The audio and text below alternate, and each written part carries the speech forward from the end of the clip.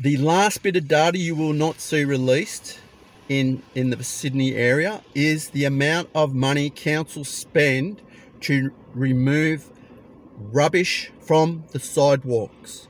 It's a real thing now. You buy something, you don't want it anymore, you throw it on the footpath. Um, now, these uh, this is the new way of getting rid of your rubbish. It's uh, you just throw it on the footpath. Nobody knows where it comes from. Electronic waste. Uh, I've seen fridges. Uh, we actually got a brand new washing machine from from the sidewalk once one time, and there was a brand new fridge too. Um, we didn't get the fridge. another little Chinese lady, she got the fridge. Good good on her. But we got a brand new washing machine. You will not see data on the amount of money councils spend to get rid of rubbish from the sidewalks.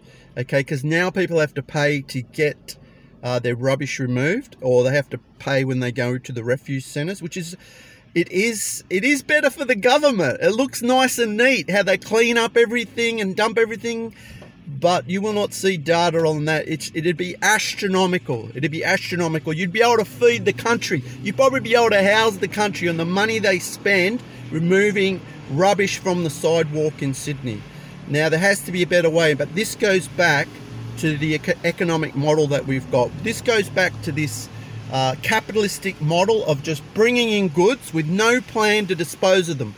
I, I think that if you bring goods, there should be in the business model there should be, uh, seeing that companies are making record profits now, they should have built into their model a way to take that product back. There should be right to repair. There should be a uh, way that we can repair things easier. The government should be working on this. They're not part of the new economy, see? They're part of the old economy.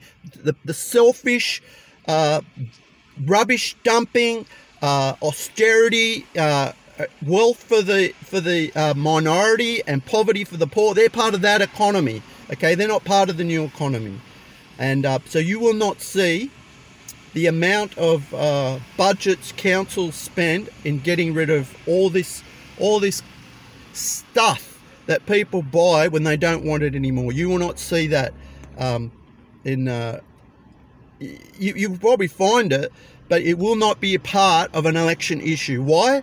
because it's not on their narrative. It's not on their tax saving for corporations narrative. Anyway, there are three things that I, I believe you will not see brought out into the public realm under these types of political entities. This is Green2Stay, uh, Bounty News, the news with a tinge of mutiny, signing out.